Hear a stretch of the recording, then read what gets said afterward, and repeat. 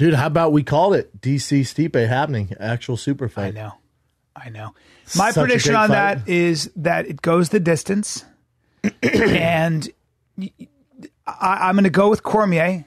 Oh, you're going with DC. I, I'm going with DC only because and it's such a it's such an intriguing and tricky fight. And the only reason I'm going with DC is because I think DC has better cardio, and I think that he, I think he's a better wrestler. Obviously, uh, I don't think that Stipe's size in the wrestling is going to make that much of a difference to Daniel because he's so Stipe's good. power?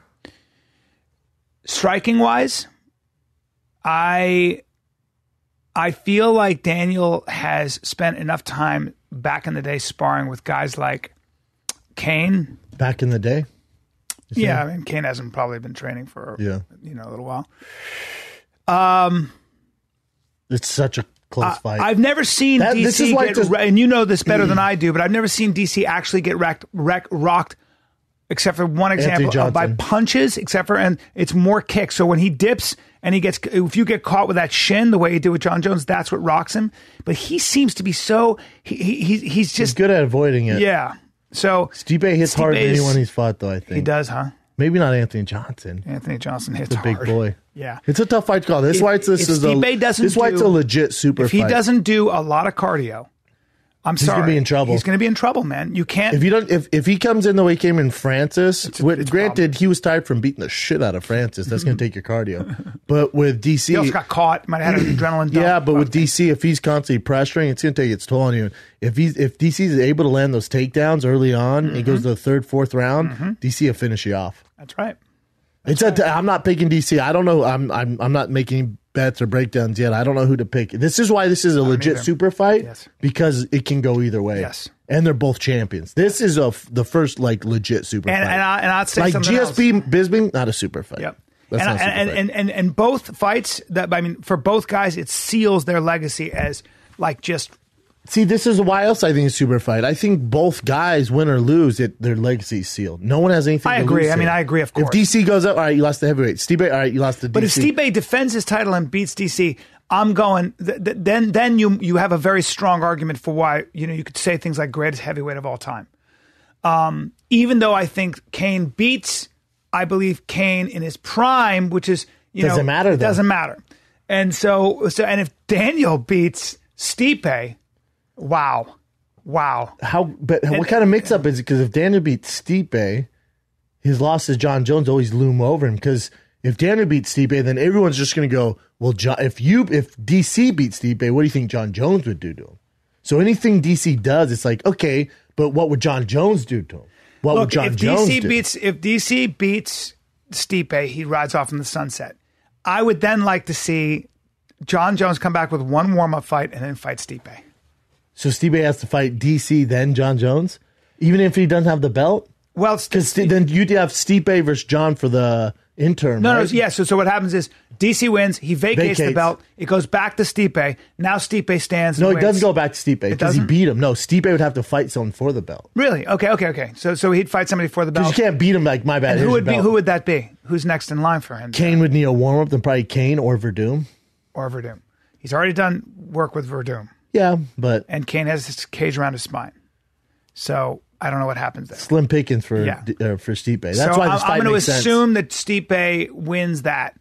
Um, but either way, either way, I think you're going to see DC Stipe, and I think you're going to see, and I think it's going to be a war, and I think it's going to go to the distance, and then I think you're going to see ultimately Stipe and our boy John. Jon Jones. And what kind of legacy is that for Stipe if he were to lose his uh, DC and Jon Jones? God, that's That's the risk of being an MMA fighter at that level. Uh, of Every there are no easy fights.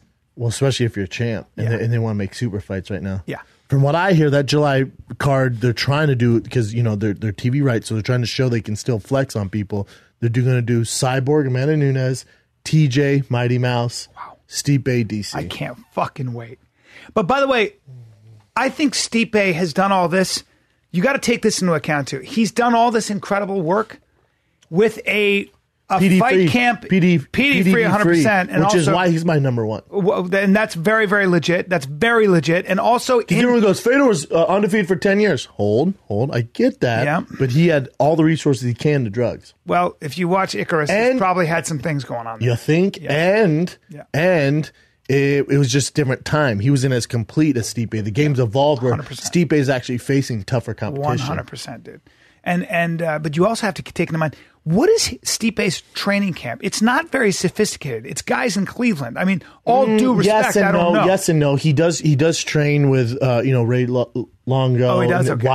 All right. of the world. Yeah, Yeah, that's true. All right, those guys. Not full-time, So but- does he go to Long Island and train Yeah, down there? All right. yeah.